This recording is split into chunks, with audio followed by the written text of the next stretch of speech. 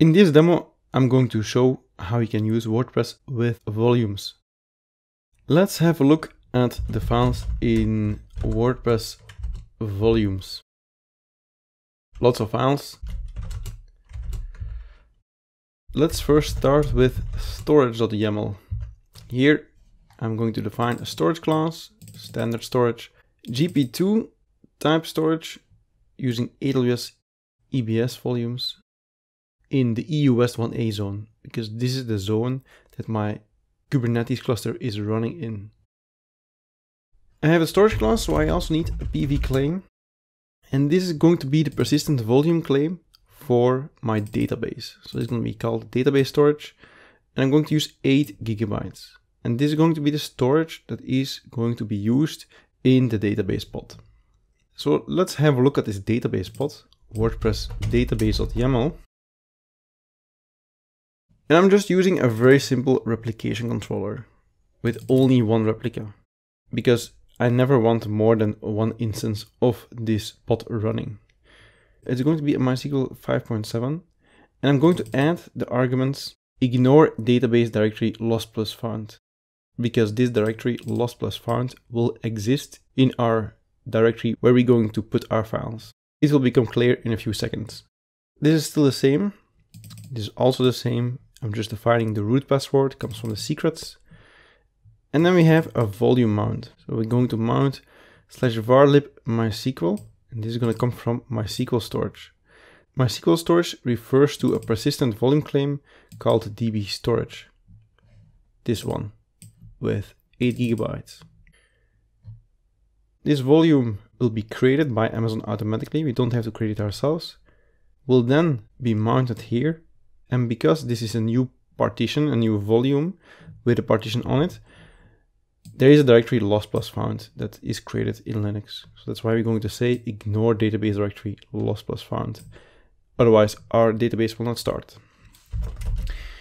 Then we need a service for that. So we're going to create a service WordPress database, which we then can use in our other pod, the one that is going to run the WordPress itself. Let me just show you the credentials. We also have WordPress secrets. So here we have a database password, which is just password. And these are all going to be used in the WordPress pod. We need to supply them because WordPress needs them and they need to be the same for every pod. Let's have a look at how these variables are used in the WordPress web.yaml. It's a deployment we can run two replicas because this pod can horizontally scale. We're going to use still the WordPress 4 PHP 7.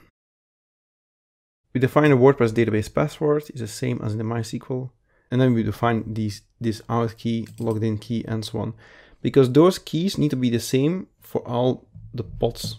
We have two pods, so those keys need to be the same because your session might otherwise differ between the pods. So these we just need to do because of WordPress itself. And then we're going to add a volume mount.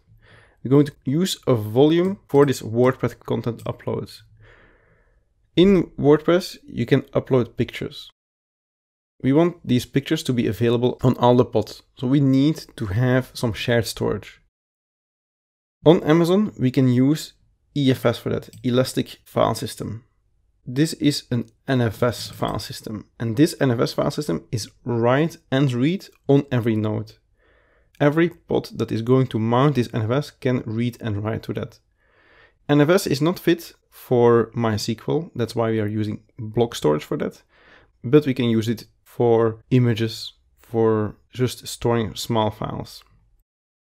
This is going to be the server. We just need to change the string because we have to create a new EFS volume first, because this is not auto-provisioned. And then it will mount this EFS right here. So let's see, did I cover everything?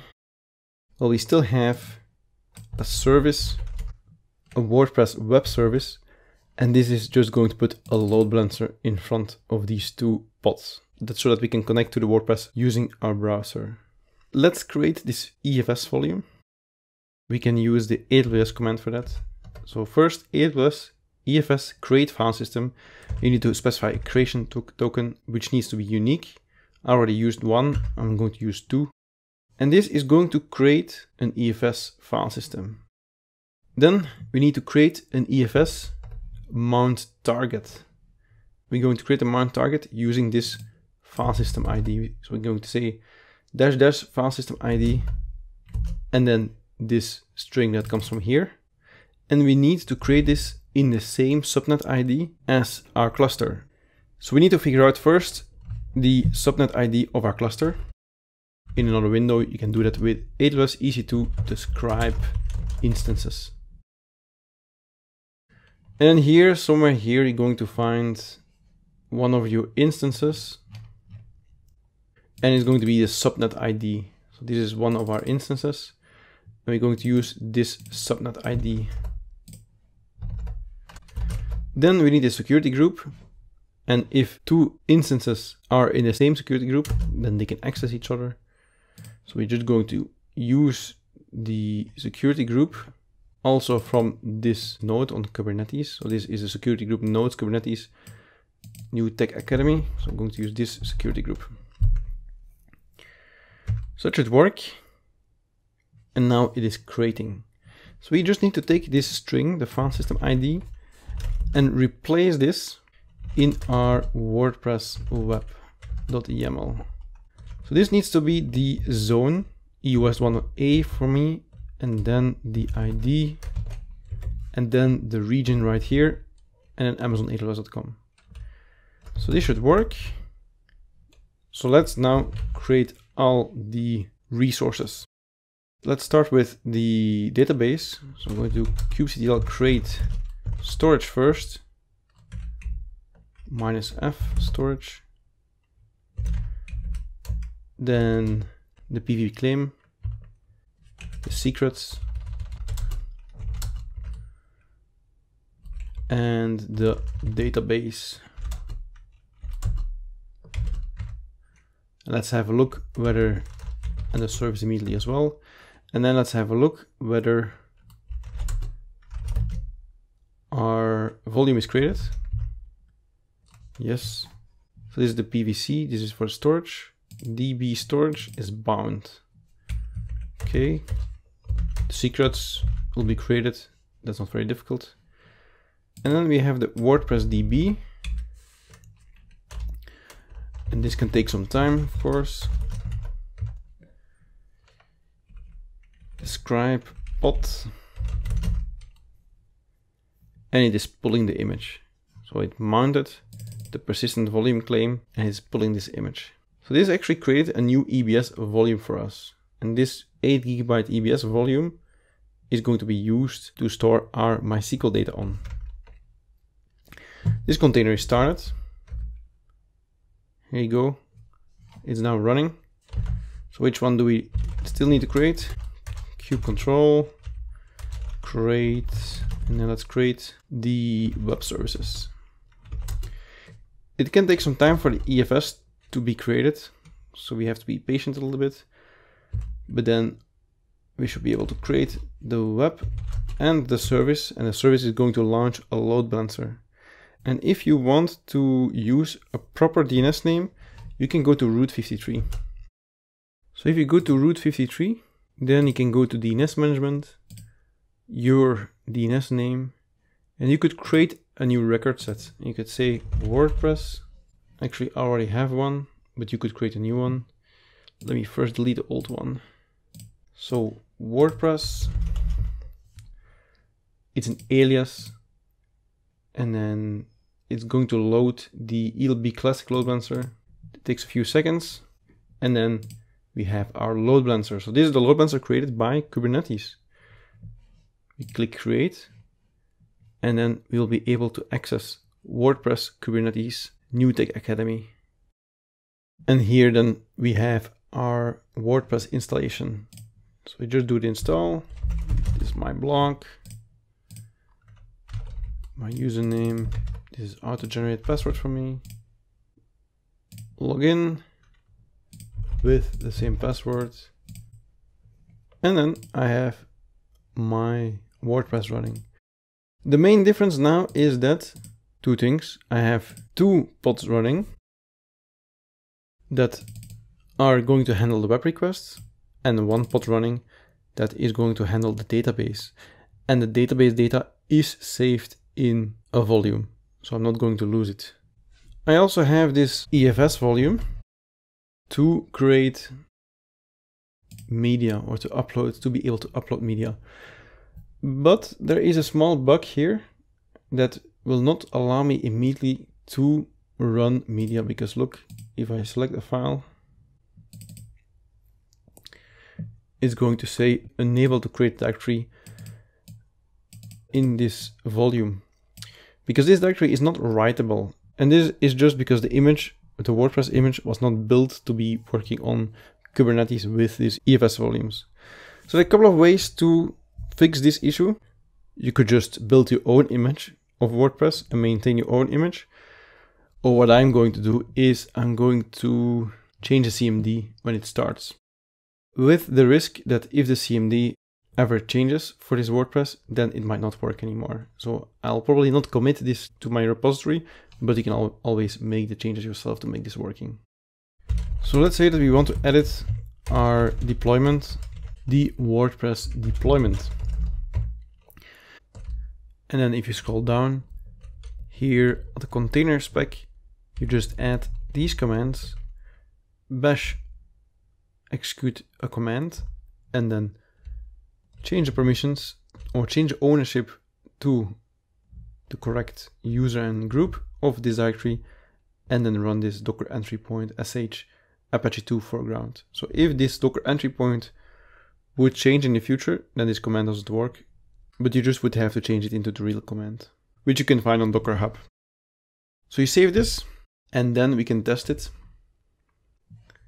So now let me refresh this page, and I'm going to add a new file. And now it, it uploads. This is the file that I uploaded, and I can make a change to a post. My image add media, this image, insert picture, update, and then this is my block. So let me show you that the volumes actually work.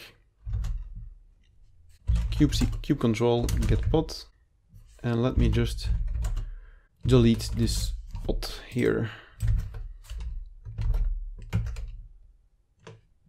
delete pod and let me delete those other pods as well.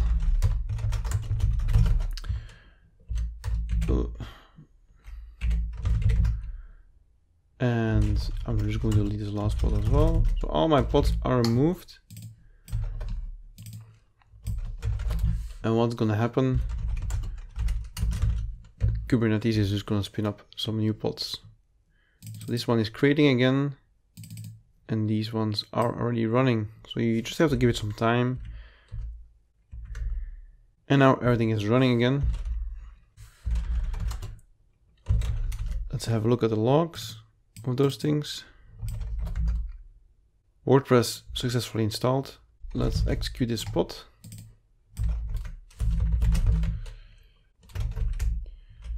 Let's execute bin bash in this pod. Let's have a look in our content, our uploads, and here we still have here we still have our image. So even after I kill the pod, even after I delete the pod, we still have our image. Let me have a look at the database.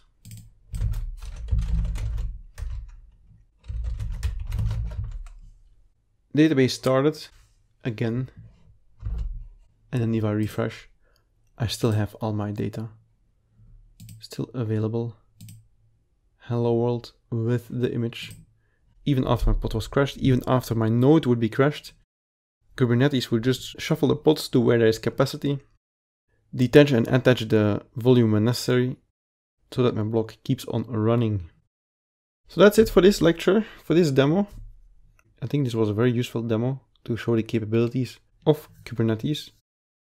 Some things I showed you are still in beta, so be very careful with those features, but it is all very promising.